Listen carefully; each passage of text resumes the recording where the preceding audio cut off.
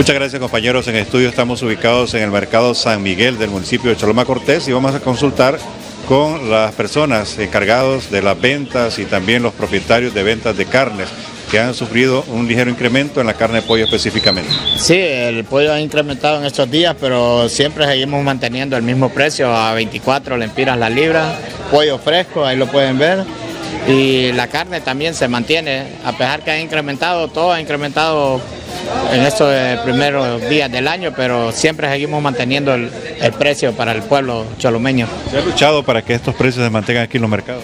Se, está luchando, pero vamos a ver hasta dónde aguantamos, porque el incremento a la canasta básica va para arriba y nosotros estamos tratando de mantenerlo para que poder sustentar el, el día a día de nosotros y de los clientes que vienen y los visitan. Lo importante es que ustedes como locatarios del mercado están unidos. En cierta ocasión y querían incrementar el precio de la carne, se pusieron de acuerdo todos a no comprar carne, pues eso obligó a mantener este precio. Sí, correctamente. Hemos tratado de mantener porque las ventas están bajas, entonces también vienen las matrículas y todo eso, esto disminuye la venta, entonces estamos tratando de mantenerlos para poder sobrellevar el tiempo día a día.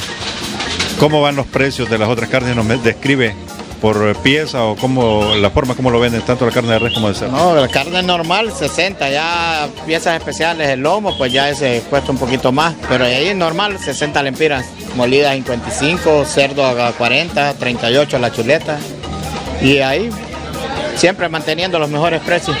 A pesar que hay baja en las ventas, pero siempre la clientela ustedes la tienen aquí en el mercado. Siempre mantenemos ahí, tratamos de mantener el cliente porque si no, nos vamos abajo.